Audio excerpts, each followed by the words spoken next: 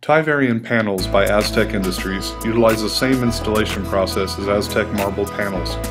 To begin, template the back wall using cardboard or Luan strips and hot glue. Use short strips on the bottom side of the template to account for the slope in the shower pan.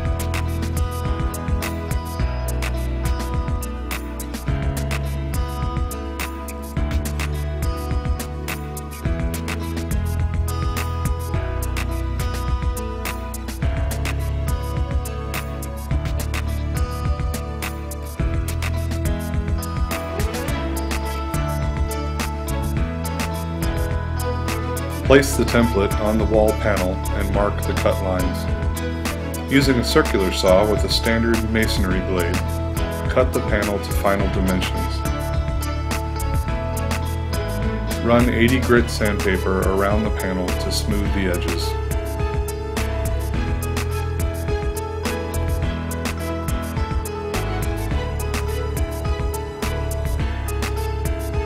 Use construction adhesive or silicone adhesive to adhere the panel to the wall.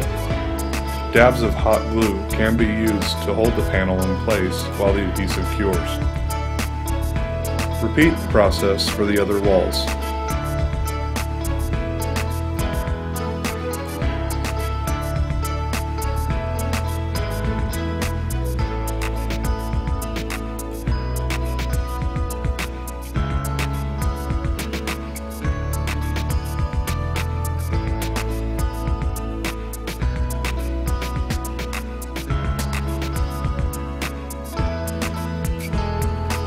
Before installing the plumbing wall, use a carbide hole saw bit to cut any plumbing holes needed for installation.